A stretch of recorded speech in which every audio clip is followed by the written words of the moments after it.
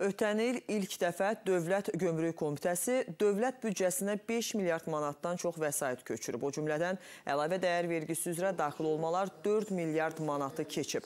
Dövlət büdcəsinə isə plandan 1 milyard manatdan artıq vəsait ödənilib. Bunu Dövlət Gömrük Komitəsi katibliyinin rəisi Əskər Məmmədov şəxsi hesab vərəqəsi elektron xidmətinin təqdimatı zamanı bildirib. Daha sonra şəxsi hesab vərəqəsi elektron xidmətinin tətbiqi təqdim edilib. Bildirilib ki, xidmət Dövlət ixal-ixrac əməliyyatları zamanı gömrük bəyannamələri üzrə hesablamaların, gömrük və digər ödənişlərin uçotunun vahid platforma üzərindən reallaşdırılmasına imkan verəcək. Pilot variantda istifadəyə verilən yeni elektron xidmət biznes fəaliyyətinin daha səmərəli və çevik şəkildə təşkili maliyyə uçot sisteminin düzgün qurulması baxımından xüsusi əhəmiyyət daşıyır.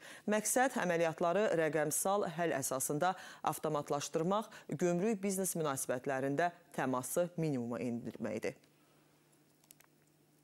Burada əsas məqsəd sahibkarların vaxt ikisinin rəsmləşmə prosesinin azaldılmasıdır ki, və biz də bu sistemlə buna nail olmuşuq. Bu sistemin tətbiqi ilə artıq şəxsin avans hesabında olan vəsaitdən bütün gömrük idarələri üzrə yaranmış borc zamanı, rəsmləşdirmə zamanı istifadə imkanı yaranacaqdır. Avans hesabında olan vəsait mövcud halda nəzərə alsaq ki, yalnız həmin borc növü üzrə, tədyə növü üzrə ödəmə imkanı yaradılırdı. Ancaq bu sistemin tətbiqi ilə bütün gömrük ödəniş növləri üzrə borcların silinməsinə imkan yaradacaq.